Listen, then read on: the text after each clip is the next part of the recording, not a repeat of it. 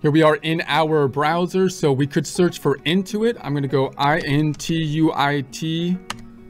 So that's I-N-T-U-I-T.com, Intuit.com. Intuit being the owner of QuickBooks. You got the different softwares. It's had it's been fairly similar for some time in that they have their different softwares that they own up top.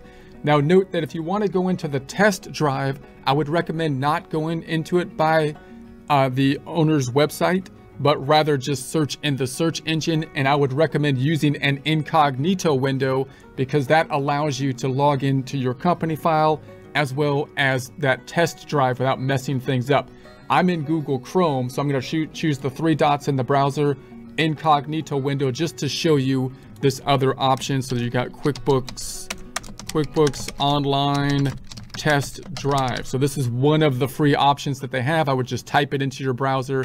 I suggest using incognito window or another browser uh, other than the one you're going to open your QuickBooks file and then search for the URL that has intuit.com in it. So you have some confidence that this is the correct location. And then you've got your test drive. I'm using the United States version. I'm going to verify that I'm not a robot. And then we go into the test drive here. So there it is. This, this has some information in it already. It's not great for starting out a new company file, but this is a great option for just practicing with, and you might want to have it open even as you're working in your actual bookkeeping so you can test things out over here. But to do that, you got to open it in another browser or in an incognito window.